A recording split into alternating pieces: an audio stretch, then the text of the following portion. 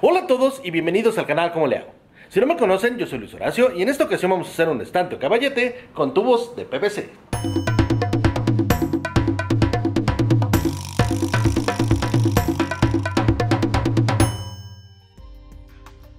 Hola a todos, como lo pudieron ver en esta ocasión vamos a hacer este estante o tripié, ya sea para algún pizarrón, cuadro o utilizarlo como caballete y poder pintar lo que ustedes quieran. Y lo mejor de todo es que se hace con tan solo un tubo de PVC que es muy barato de conseguir, y que siempre es lo que busco para ustedes en el canal. Así que sin más que agregar, veamos qué necesitaremos para hacerlo. Vamos a necesitar de preferencia un tubo de PVC de una pulgada de diámetro o más ancho, de esa manera podrás sostener más peso. Este es todavía de los pedazos que me sobraron del video del corral para bebé que hicimos hace poco y que si no lo han visto les dejaré el link en el video y en la descripción.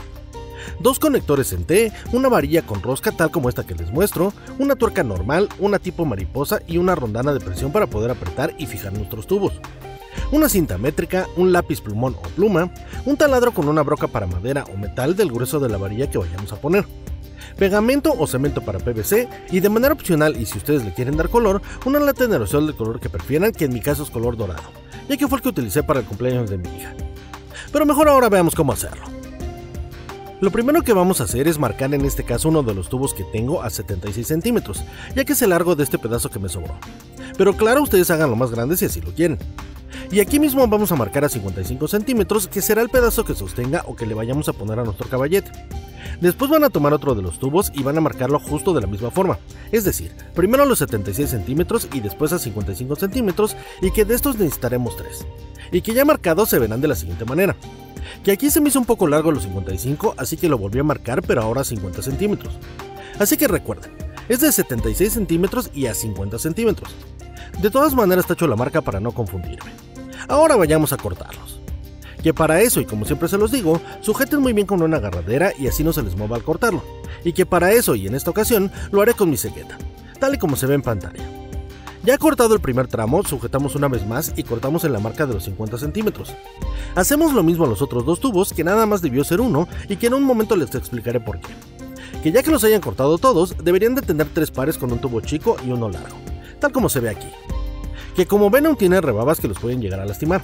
Y que para quitárselas solo tomamos una de estas esponjas para lavar trastes que tiene la parte verde y que como siempre se los digo, esta funciona como una lija fina que quitará cualquier rebaba que pudiera haber quedado. Así que pásenla a todos los lados de los seis tubos para que ya que le hayan pasado todos los bordes de los que tengan, quedarán libres de rebabas. Y que lo pueden comprobar al pasarlo por sus manos ya que no los lastimará o raspará en lo absoluto. Pero ahora vayamos a armar todo. Antes de hacerlo ponemos una tela de plástico sobre nuestra mesa de trabajo y así no mancharla por accidente con nuestro pegamento para PVC. Ya así deberíamos de tener nuestros 6 tubos con sus respectivos conectores, que como les decía anteriormente no tenía que cortar el iba en medio sino hasta el final que supiera el tamaño final de los tubos laterales. Así que solo corten dos y el otro espérense a que terminen de pegar los otros. Pero por mientras ponemos pegamento en las dos orillas de nuestro conector en T para inmediatamente después pegar nuestros tubos tal como se ve en el video. Si así lo quieren se pueden ayudar presionando en la mesa y así queden hasta adentro, pero eso ya se los dejo a su consideración. Después van a hacer lo mismo con el otro, es decir, poner pegamento en el conector en T y después pegar los dos tubos que es el chico y el grande que tenemos. Ya que hayan pegado a los dos, solo resta poner más pegamento en el conector de tubo a tubo, y al igual unir los dos que tenemos. Que como les dije, esta experiencia hasta que hayan pegado los otros dos y así cortar el tubo a la misma medida. Que más o menos se debería de ver así. Que como pueden ver los dos con el conector en T quedaron un poco más grandes, pero que eso no será problema para terminar nuestro estante. Así que veamos cómo. Para hacerlo vamos a acomodar los tres tubos como si estuviéramos formando un triángulo o una flecha.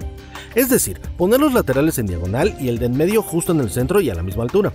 Que yo en este caso voy a sujetar el primero que es el lateral con una agarradera y asegurándome de que el conector en T quede viendo hacia arriba o enfrente según ustedes lo estén viendo.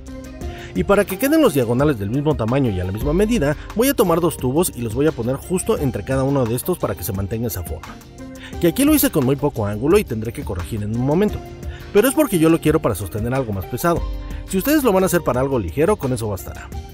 Ya que los tengan en su lugar y bien fijos con sus agarraderas, se verá de la siguiente forma. Que como ven se forma el triángulo o flecha que les decía. Ahora con la ayuda de su taladro van a perforar de lado a lado y de preferencia en una sola pasada para que quede lo mejor alineado posible el agujero. Aquí mi broca no me alcanzó, así que tuve que quitar uno de ellos para perforar la pared que faltaba. Y de una vez aproveché para bocardar un poco los agujeros y así entre más fácil nuestra varilla que esta nada más la vamos a meter en los tres tubos en el orden en que los perforamos y ya así marcamos qué tan largo queremos que quede la varilla. Que ya que lo hayan hecho van a sujetar esta con sus agarraderas y con la cegueta van a cortar justo sobre la marca que acabamos de hacer. Que ya que lo hayan cortado a la medida, lo volvemos a meter y ponemos la tuerca en un extremo y casi en la orilla de la varilla, y la rondana de presión y la mariposa en la otra. De esta forma podremos apretarlo para que se quede totalmente fijo y que como debe de funcionar es más o menos así. Solo van a acomodar su estante para que quede con la inclinación y altura que ustedes quieren y después van a apretar sus tubos con la ayuda de la mariposa que pusimos. De esta forma ya podrá quedar fijo para que podamos ponerle cualquier tipo de cuadro, foto o alguna madera o pizarrón. Que aquí no tenía nada de eso a la mano, así que solo puse una lámina que tenía justo atrás, que sé que pesa y aún así se mantiene estable. Pero como no quedan tan separadas las patas, no se sostiene tan bien. Así que para corregir eso y pueda aguantar más peso, le voy a hacer un agujero a los tubos laterales un poco más abajo, que el primero lo marqué a 2.5 centímetros más y quedó demasiado abierto al triángulo. Así que solo le hice otro justo a la mitad y usando ese de guía le hice el agujero al otro tubo.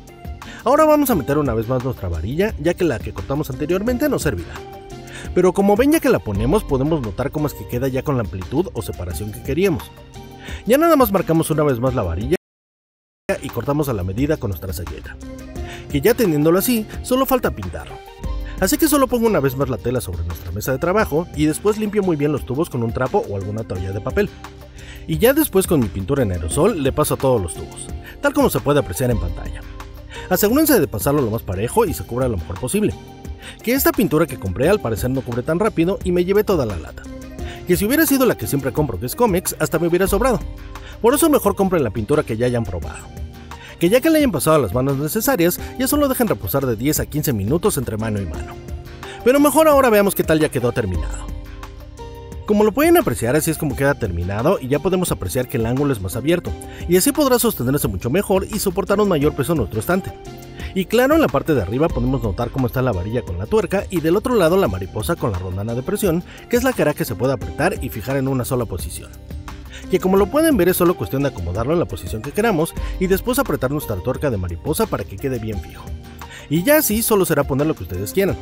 Que en este caso como no tenía nada a la mano, como un cuadro o algo así, puse esta lámina que pesa bastante, y como ven se sostiene sin problemas. Así que un cuadro o pizarrón lo sostendrá fácilmente. Después me acordé que tenía este cuadro con fotos que es bastante grande pero casi no pesa.